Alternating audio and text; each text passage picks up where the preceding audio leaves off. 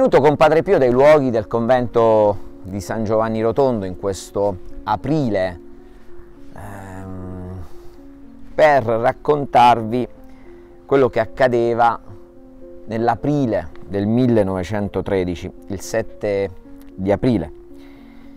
Beh, ehm, sicuramente in quei giorni Padre Pio mh, non stette realmente bene perché ebbe una visione dove eh, Gesù eh, gli mostrò qualcosa in cui lui sicuramente non avrà dormito la notte per quello che ha visto.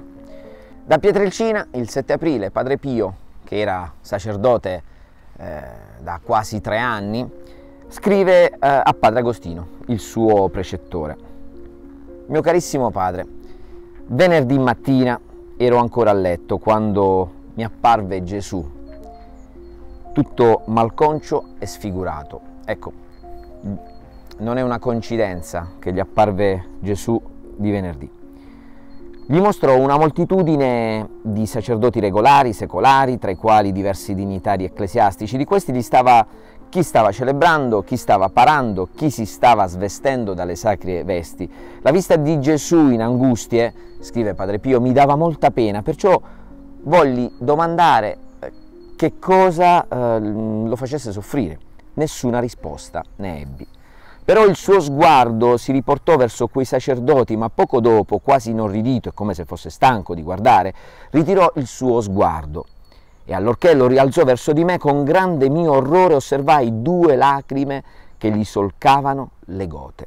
Di che cosa si trattava? Si allontanò da quella turba di sacerdoti con una grande espressione di disgusto sul volto, eh, gli gridò macellai.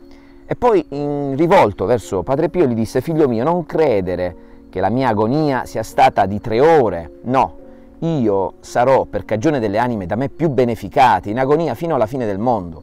Durante il tempo della mia agonia, figlio mio, non bisogna dormire, l'anima mia va in cerca di qualche goccia di pietà umana, ma ahimè mi lasciano solo sotto il peso di questa indifferenza. L'ingratitudine e il sonno dei miei ministri mi rendono più gravosa l'agonia.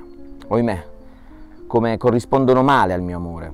Ciò che più mi affligge è che costoro al loro indifferentissimo aggiungono il loro disprezzo, l'incredulità. Quante volte ero lì per fulminarli se non ne fossi stato trattenuto dagli angeli, dalle anime, da me innamorate.